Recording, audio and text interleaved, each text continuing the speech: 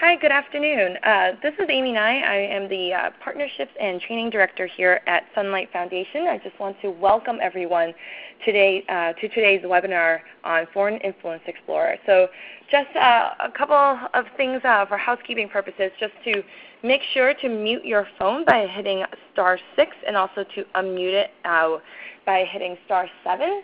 Um, on the bottom left-hand corner of your screen, you also have um, an area where you can type in questions, and feel free to interrupt us with any questions uh, you, if you have any throughout the presentation.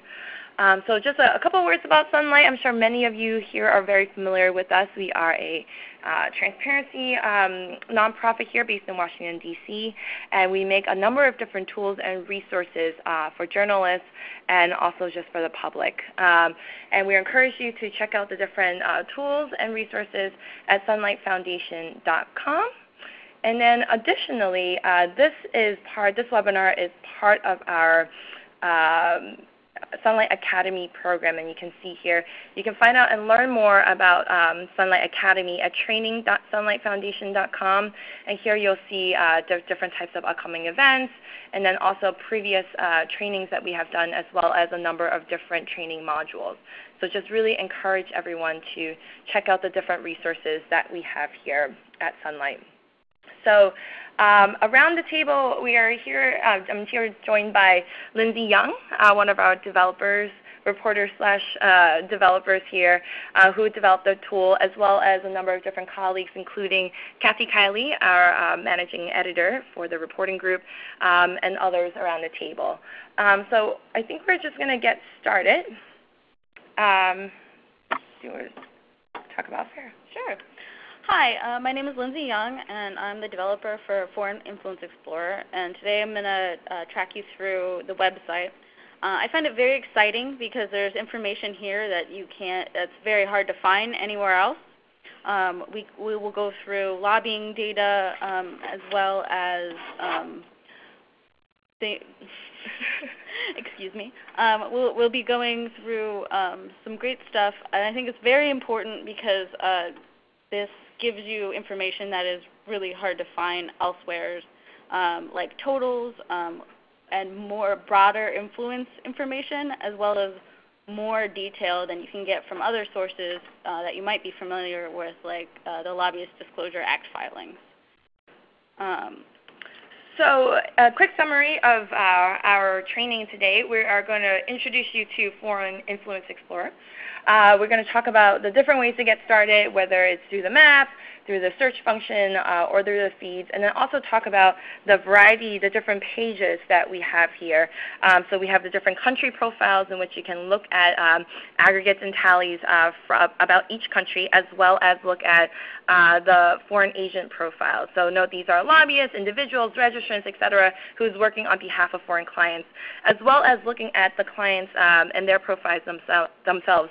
So these, uh, when we're talking about clients, they could be any type of foreign groups. They could be a country, it could be their tourism bureau, it could be a, foreign business or an organization, essentially any entity that has a political or a quasi-political relationship with the U.S.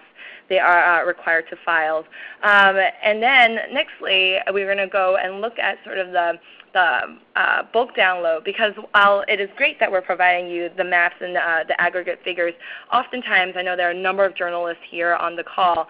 Um, you're interested in just looking at the raw numbers yourself. So we will go through and teach you how to um, bulk download as well as uh, lastly uh, go through the different feeds that we have. This is the live and real-time content that we have both on the foreign agent um, information as well as on proposed arms sales, which actually comes from a different different data set, and we'll cover it as we go through it. Um, so that's, that's a quick summary of uh, the, the webinar today. Uh, we're slotted to be on this for about an hour, but hopefully um, the presentation will take about 30 minutes or so, and we're looking forward to your questions um, at the end of the session, as well as, as I said earlier, feel free to, to type it in on the side box, and we'll answer it uh, throughout the, the presentation. So let's get started. Thanks, Amy. Um, so I'm going to uh, share my screen. One moment, please.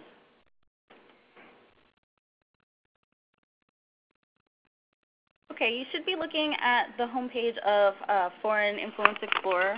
And feel free to um, follow along. Um, you can go to foreigninfluenceexplorer.com.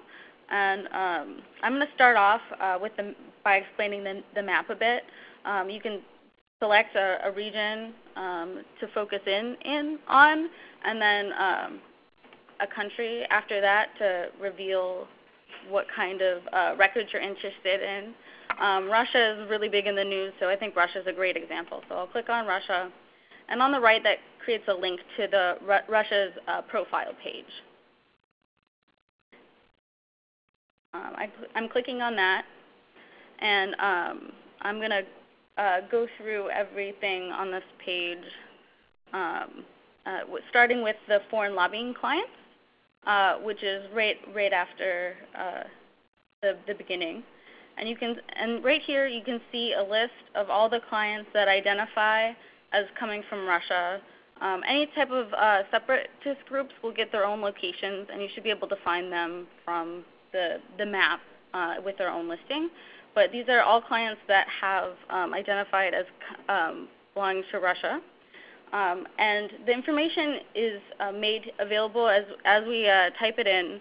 Um, we go through uh, foreign, the um, foreign registration, regist foreign agent registration. Thank you. For, foreign Agent Registration Act records uh, to get this kind of information. Um, you can see that uh, for the Russian Federation, uh, we have a client type. Uh, that comes from an A uh, form A, AB, and uh, it's a foreign government. And you can see that um, there's a, there we keep track of totals. This is um, a total of processed payments since 2013. And then if you click on that, um, you can it has an ex explanation. Um, these are payments starting uh, with January 1st, and that's, those are payments so dated January 1st, 2013 to the present. Um, it's important to note that these are aggregate totals. So we're giving you this um, for the 20, uh, year 2013 so that you can essentially compare that number to other um, uh, entities as well. Um, yeah. And so if you, and then you'll see that there's different records that are available, and each of these are, provide uh, narrowed down and tailored results to what you're looking for. So this is just payment records from the uh, Russian Federation. So if that's what you're interested in, you click on this, and this will take you to all payment uh, all payment records um, that were from the Russian Federation. Um, and it's really important to note that I give you all the data that we have. Um, we are working on data entry every day. Uh, we have all of 2013 entered and we have 2008 to 2011 entered, and we're still working on the 2012 documents as well as documents as they come in. Um, as we, we enter the data, we make these records. This is uh, how we base our aggregates. And you can, um, you can see the, the date. The date is going to be the, um, given by the registrant on the form. And a registrant is just somebody who is representing uh, foreign interest. Uh, the amount is how much for that particular record, who the client was, who the registrant is, um, and sometimes they show a purpose. Uh, that would be shown that that description is going to be put there. And the subcontractor field is because sometimes um, agents, foreign agents, will hire other foreign agents to re represent the same client. And if you're looking just at one client, you don't want to uh, double count that. So we try to keep track of that as best as we can. Um, the filing icon at the end always will take you to a profile of where that uh, information came from. Um, so we'll look at this a bit more later. Um, those are just the, the headings. Um, so foreign agents um, go back. Yes, sorry. Going back to the previous page, um, which was uh, Russia. Um, you can see that the Russian Federation, which is what we were looking at before, um, you can see the foreign agents that represent the client. That means uh, within the last few records, these have been um, these registrants have listed the Russian Federation as their client. And you can see uh, foreign agents that represented the client in the past so that relationship has ended, but you can still find out the information there. If okay, so we're going to go back to the top and show um, some uh, how to get contacts or payments or disbursements for all of the records, and the, that um, is in at the very top of the page. And it's all of the records for Russia. So it, it essentially uh, these three um, tabs here will, will tally all of the foreign lobbying clients and et cetera that you see below. Yes. Um, so uh, for contacts, I'm going to click through and um, it should it will show all of the clients that identify as being Russian and the contacts that, that we have in our system. Um, contacts is a really broad category. It could be uh, media outreach, as you see right um, on the top. Uh, this is Ketchum Inc., which uh, was uh, made. You might have heard of them because they helped Putin place an op-ed. Um, but you can see they, they have done they do lots of other work too. Um, so we try to describe what kind of outreach these different uh, firms do, uh, who they're doing it for, and who they're contacting. Um, and then if you look at the bottom of any of these table pages, uh, there's a download button and that is going to give you all the records filtered. So if you're just interested in seeing all contacts from a particular country, the easiest way is to go to that country page, uh, go, then you know go to contacts and download the contacts that for that country. And you can see here, as Lindsay was showing, there are 29 uh, different results pages here. So when you hit download, um, it will download all of those records for you. Um, and then I think a really great thing for journalists um, is the, the, ability to fact check any particular piece of information. Um, so if you go here and you see uh, Ketchum, and they did a press release on uh, for Gazprom. So I'm clicking on the, uh, the, the document icon, and then that will give you a, a page. And this page is uh, at the in the top we have the aggregated information that is the data behind the, the original fi filing. And uh, we give aggregates for that particular filing.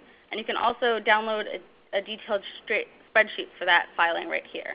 Below that, you can see there's a document.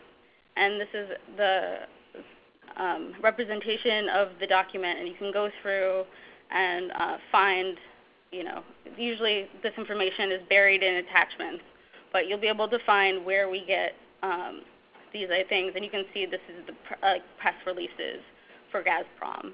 Um, and if you want to download the original PDF for yourself, there's the download button on the bottom of the page. Now, I just want to just note too that what you're seeing is the original source PDF. Um, Lindsay and her team has gone through the, the painful process of transcribing that information, even though that information obviously looked like it came from a computer at some point, that information um, is not provided in a machine readable format. It's provided in these PDFs that are obviously rescanned back into, in, into um, uh, the computer. And uh, it's uh, really a great resource because now what you're getting here is um, all, all of the numbers in the um, in a CSV in a downloadable format, as well as being able to look back at the source records. Yeah, and I'm again just going to go ahead and show you payments. And uh, again, in the the top of the location, you get the payments for any uh, clients that uh, are from from Russia, and we give you all, all the ones that we have in our system. Uh, you can see uh, date is pretty straightforward. Um, if there isn't a date, given, we will give the date of, that the form of the form with an asterisk. Uh, amount is also straight from the form. The client, uh, the, the registrant, that's the foreign agent. Uh, the purpose, if they give them, you can see this, this does not have any of that. And then the subcontractor, again, is to help you uh, identify when money is moving around more in a circular fashion. And then I'm going to go to disbursements, and you can click here uh, to see related disbursements. And uh, disbursements are money that is money given to, uh, sorry, money uh, uh, that has been spent on behalf of a client. Um, so that really wide range thing. You can see FARA filing fees, that shows up a lot. Um, lots of uh, different kinds of things that they, they buy in order to do business. Um, lots of, uh, you can see like FedEx and media things. Um, and again, all of these files at the bottom, you can get the download, uh, the full records for that. For that. Okay. And then um, another way to find what you're looking for is with search. And it's pretty uh, straightforward. So um, right now I'm going to uh, search for Podesta. Uh, if you're not familiar with Podesta, it's a big uh, lobbying group that is um, shown by, um, and you can see uh, we have Heather Podesta and Tony Podesta, and I'm looking for Podesta Inc.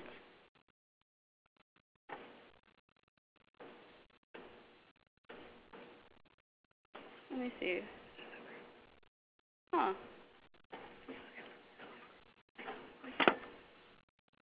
Um, I'm, let's see. And the search that we have here is actually, uh, for some of you who are, are techies, um, is what we use is Elasticsearch for this. So some of the normal common operators that you're familiar with, you can totally use uh, within the search. So such as uh, quotes or minus signs, so very uh, common operators there. Um, so there are um, uh, different groups here, and, you, and now it looks like uh, we're looking at one of the many Podestas. Here's Heather. Um, so um, you can see uh, it's very similar page to the pages that we saw before, um, but with foreign agents, they also can contribute um, to politicians. And the main advantage of tracking uh, the contributions uh, from FARA rather than FEC is that you don't have to worry about name matching. Um, so you can you can compare contributions and contacts and see that overlap. Um, and I think that's a really interesting thing to do. Um, and uh, I'll just uh, click on that real quick. And you can see that um, has the date, uh, the amount, uh, recipient, who's, who's getting or benefiting. Uh, we also show uh, in-kind contributions. We'll just go in as amount as well. Um, registrant, the contributor, and uh, again, also always that link back to the filing. Um,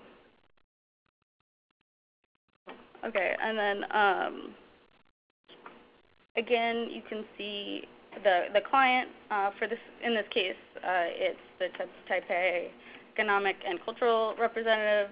Um, these links will take you to tables like you've seen before. And then at the bottom of a registrant page, you can see all the documents that we have and the date that they were received. Um, and processed means if we've gone through the, the um, taxing exercise of doing the data entry for them so you can do your aggregates. Um, and then let's, and then you can see uh, these, these, uh, this list will go back to 2011. Um, our records go back to 2008. Um, and then let's see. Thank you. Um, and so let's look at um, the uh, payments link again. Um, you can see that it's an it's an aggregate for 2013, and that's forms that were filled in during 2013. Um, and you can, at any time you see this I, you can click on it, and it will explain uh, what, where, how, what methodology we use to get that number. So uh, what we also wanted to show is that in, in FARA there are also political contribution records.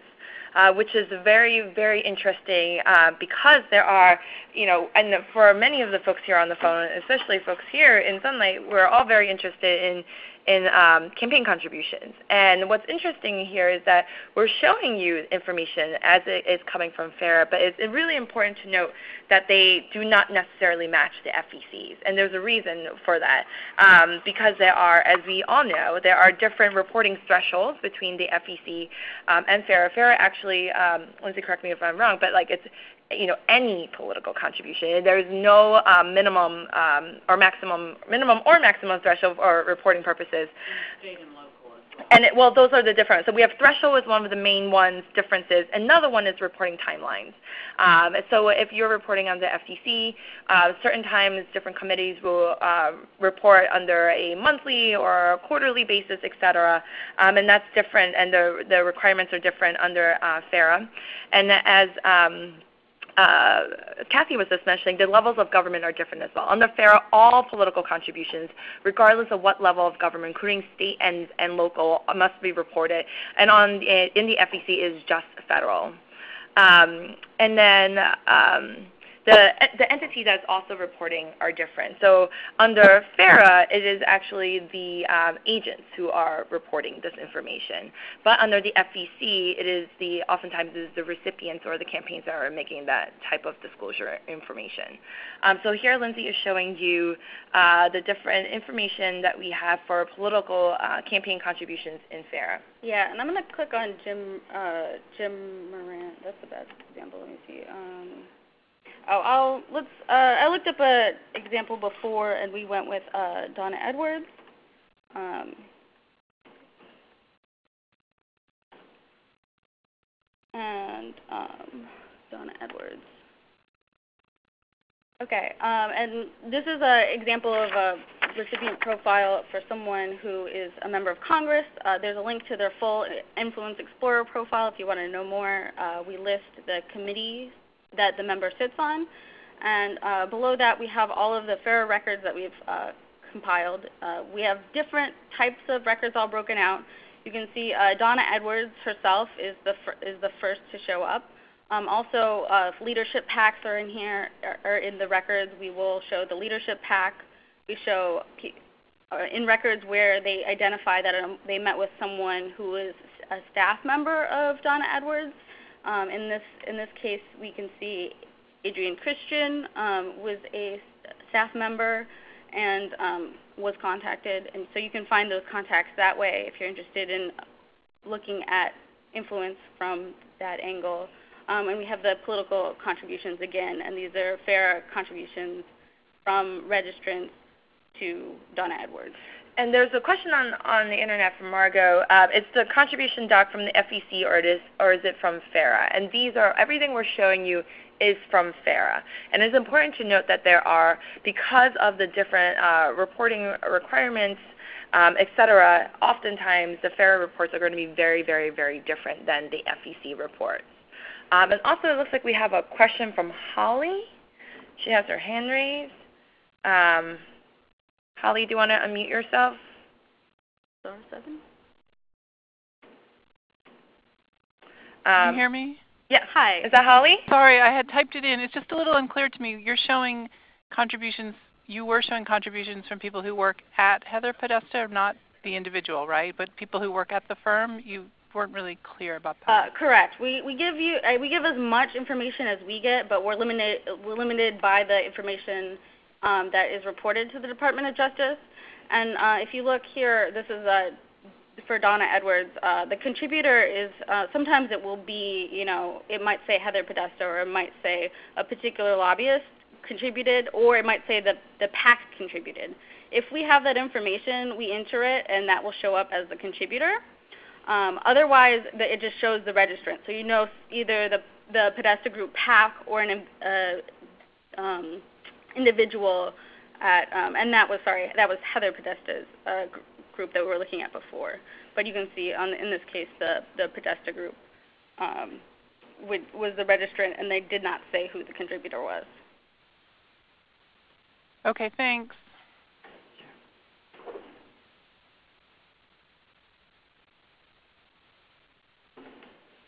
Okay. Um, Okay, and then another way to browse the data is through the foreign agents at the top. And we look at the foreign agent feed. And this is the best way to find uh, what's new and what's most recently added. Um, and as we go through and we hand enter them, uh, the, there will be a green check mark that will say process next to them. Uh, these are all new. We haven't gotten to them. But this is your opportunity to, to see something that other people haven't seen yet. Um, so let's just uh, click on one of them. Um, see if anyone looks interested. Interesting. Um, yeah, Patent Box has an amendment. Yeah, the amendments aren't are uh, shorter. Oh.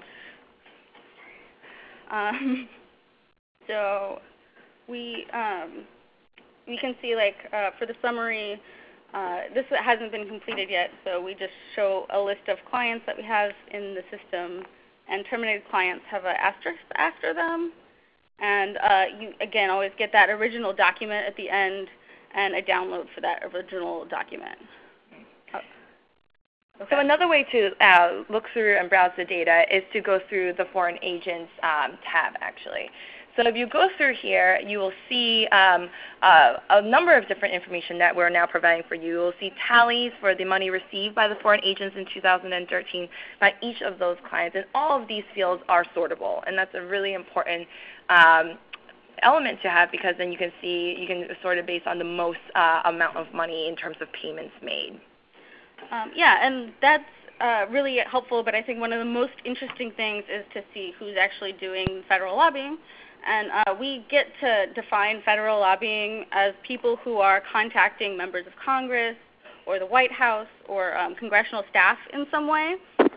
So this, this will pick up things that you don't see in LDA. Um, there's no 20% rule. If they said that they met with a member of Congress, then uh, we're, we're tracking them like they're lobbyists. Um, and then you can also see uh, State Department contacts. I think that's pretty interesting. Uh, lots of a few firms specialize in uh, contacting the State Department. There's lots of PR firms in here, so media contacts can help you figure out, uh, you know, who is a P- PR firm. For for instance, the, uh, De- the Department of Tourism for Bermuda. Um, they have they're mostly media contacts. They want people to visit Bermuda. They don't have political donations or anything like that. And then the last one you can sort by is also the political donations. And this is essentially what we're showing earlier um, as well, uh, where you can see whether um, employees of these different foreign agents uh, have made any uh, contributions to um, individuals. And then on the bottom of the page too, it was also incredibly useful is what we were trying to stress earlier, um, is that you can download the whole file. And actually, um, and so that's really important because we want to show you where you can download this information. You can go to data. Um, if you go to data and then uh, there's a bulk download section, um, you can get all of the, the bulk downloads for the things that we've been showing. Um, you scroll down a bit to where it says foreign influence. Um, and here we have our different data types and we give you all the information we have in the, the system and we update these uh, downloads nightly. Um, so, so you can uh, have contact records, and you can have payment records. That's payments from clients to registrants. Disbursement records. Uh, that's pay payments from uh, re registrants to the outside world on behalf of a client. Um, contributions. Those are um, registrants or you know their staff or their PAC, and they contribute to members of um, Congress and local officials too. And then you have a full um, client and registrant list, which uh, shows what um, clients uh, currently are being represented or have been represented by what registrants. And we'll just show you real quick um, that if you click on each of them, it downloads as a uh, CSV. You note that on the bottom left-hand corner, we're, actually downloading the list of um, contacts that's available in Sierra right now. Um, and when you open uh, the document, we're showing you this in real time. so uh, we're going to let CS, the CSV open in Excel. And then there are a number of different columns that are interesting and important. Um, yeah, this gives you a little. This gives you more data than you can find on the website. So if you if you want more information, uh, the, I, the, downloads are a great place to go. Um, you can see the date here, um, and that's the date that the contact uh, took place. If there was no um, date for that particular contact, we use the date from the form, and you can tell that. Um, and then uh, this is the the next thing you see is contact title, and that's uh, who's being contacted, like what their their title is. Some of the titles are rather wordy, um, but they're there. Uh, also, be cognizant that titles can change. Um, the contact name, um, that's the name of the person that was contacted. Um, contact office, uh, where where do they where do they work for, and the agency um, is very useful as well. Um, we try to we you can find House, Senate uh, for staff, and then for congressional staff, and then Congress is reserved for members of Congress. Um, you, you, can also find uh, media contacts in there because there's a lot of press releases. Uh, you can sort the agency being media. Um, you can see what client uh, those contacts were on behalf of, um, what the location of that client is, uh, the registrant, so who's representing the client, the, uh, and a description, and this is depending on the description that they give us in the form. Um, sometimes it's vague, but you can tell things from, from timing. Uh, then you have the, the type of description where you can have email, meeting, phone, um, unknown, or other. And that's, again, all given in the, in the forms. Uh, employees mentioned would be if there's a lobbyist at the meeting or an employee of the registrant at the meeting. Uh, they'll show up as a list here. Uh, we also add affiliated member BioGuide IDs. So it's the BioGuide ID of the member being contacted. If it's a member's office or someone who works for that member, their BioGuide ID will be um, added there. And if you wanted to crosswalk this data, this is a great point to do that at. And if you have any particular questions about you know, a particular line item, I always uh, recommend going to the source form, uh, which is listed under source, and that's where we got that information from. And so you can double check anything you like. Um, it's a, again, it's a huge project, so um, it, it, takes a while sometimes to find exactly what you're looking for. Um, yeah, absolutely. And this is Kathy. Um, I would also just say uh, one of the great things Lindsay has done here is enable people to check our data against the source material, and we really encourage you to do that. Uh, as you may have gotten some notion of, this is an enormous project for us. It involves a lot of data entry that we think is unnecessary if, uh, mm. if the government would require electronic filing, but for now they don't. So we are hand entering this data from forms, and mistakes are inevitable. If you see a mistake, please email us and let us know so that we can get it corrected.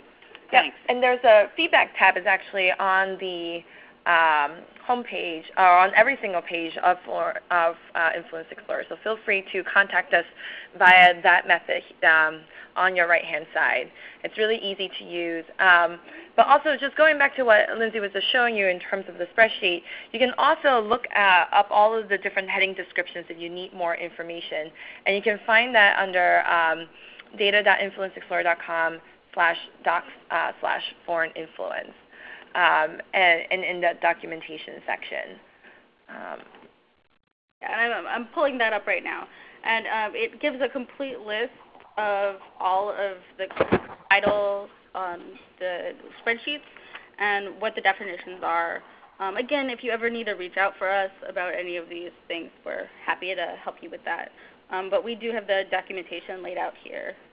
Um, and there's a question from Margot online. She asked if uh, we've made the PDF searchable. Yeah, we um, for, for the most part, uh, lots of them have been OCR'd, and um, we load them into our search engine as we get them, and we uh, backfilled, and we we so you should be able to do a text search um, using the search bar. Um, so the search bar, if you were if you were looking for um, I don't know um,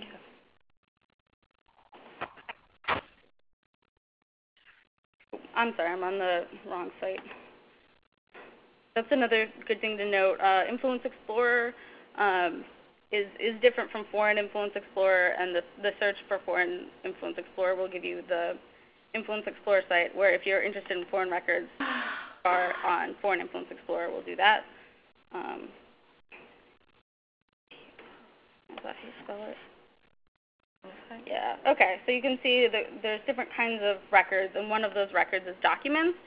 And so it found that word in these documents. So you can go to any of these documents, and you know um, if uh, this we haven't processed this, processed this form uh, where it has the detailed information, but we do have um, the information here in the the PDF, which you can do- download. And if you hit Control F, you can also search through the, the PDF itself.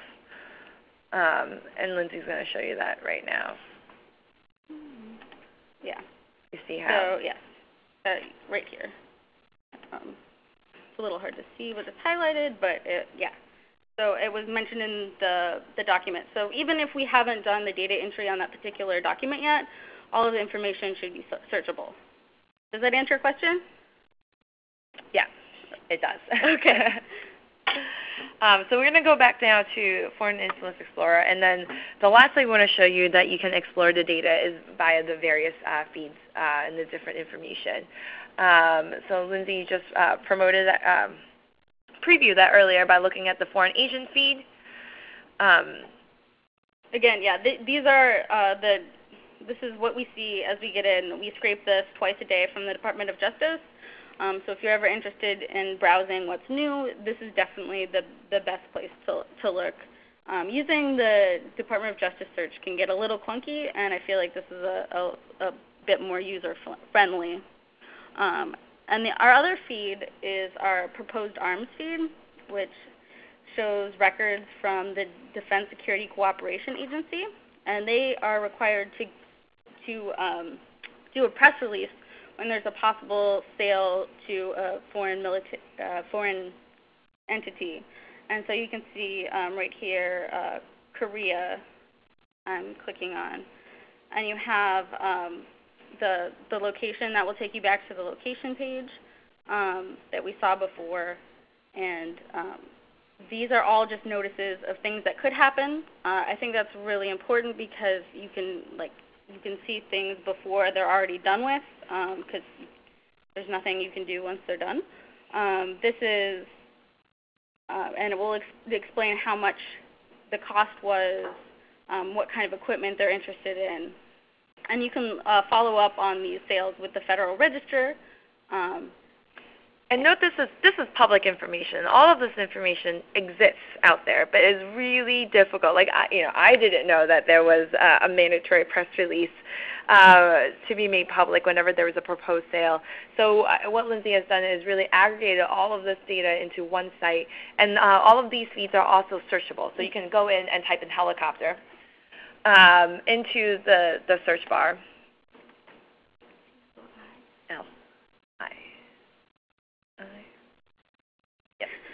And then what you see here are um, all the various proposed arm sales of helicopters. Um, and then you can click through to each of them and see the original uh, press release. And you can also download the original uh, press release uh, with the button in the right, lower right-hand corner. Right. So that's pretty much um, Foreign Influence Explorer. I, I think there's, there's a lot of information here, but the best way is to use it or to, to learn more about the tool is really just to go ahead and start clicking on things and, and start uh, looking through the data and the information. Um, so are there any questions, um, any feedback? Feel free to unmute your phone. Uh, you can do that by uh, hitting star 6. Star 6 is to unmute. Is it star 7? Uh, star star seven to unmute. And, um, uh, so feel free to unmute your phone, and you can return. Ah, yes. Thank you. And also uh, submit any questions onto the left-hand uh, side. So you can unmute your phone by um, hitting star seven. And if there's any questions, Lindsay is uh, incredibly fast uh, on email, so you can shoot her an email if you have any questions about the tool or sort of just need any ideas or suggestions on how to uh, use it for story, Um, and you can also reach me at a9 at sunlightfoundation.com. And please send us links. Yeah, and if you do write any stories, please do send us those links. Um, it is I, I can't uh, talk about mention how much uh, work Lindsay has put into this tool because unlike some of our other tools, Foreign Influence Explorer really really depends on um, the manpower of, of the people here to um, enter in the uh, large amounts of data and information uh, from from the uh, FARA the, from the FARA forms. Um, so if you ever, if you see any mistakes, feel free to email us and let us know. Um, do you have anything to And uh, Kathy again, if you would like to help us, uh, what we've did, done with this database, uh, some of you may know uh, uh, ProPublica and the Sunlight Foundation uh, collaborated to start building this database a couple of years ago. we got it built. We, just, we learned from some mistakes there. Uh, really uh, inspired by Lindsay, who uh, used the FARA database quite a bit as a reporter and then uh, learned enough programming to fix it. Uh, we have updated the database. Uh, as we said, we're, we've really got data running from 2008 to 2000 through 2013, but we are really trying to fill the hole in the donut. we have some, some of those years in between where we're trying to backfill. If anyone would like to help us, uh, we are always happy to get volunteers, and if you want to come over on some Friday, we'll organize a party and we'll supply the uh, the munchies and the drinks. So uh, uh, we're working as hard as we can to complete this project, uh, but we would always love to have some help. So uh, feel free to email us if you want to do that. Yeah, and I just pulled out um, our, our blog post um, that we have written uh, recently about the stories that we've been able to to explore using the tool Foreign Influence Explorer. So feel free to check those out as well. Um, they're tagged under Foreign Influence Explorer, and there's a lot of really in interesting nuggets of uh, information um, that adds to uh, the, the reporting abilities of, of our staff here. Any closing thoughts, Liz? Um, no, thank you so much for your um, time today. If you have any uh, questions or feedback or suggestions, I would love to hear them. Um, again, my email address is lyoung at sunlightfoundation.com. All right, and we'll be record. We have recorded this uh, webinar, so we'll put it up online for folks who've missed it, or if you know uh, colleagues that you would like to share this with, um, and I'll email that out um, in the next day or so. So thank you once again for joining us um, for the webinar on FARA. Um, on uh, the Foreign Influence Explorer, and we look forward to your feedback and thoughts. Um, thank you so much, and have a great day.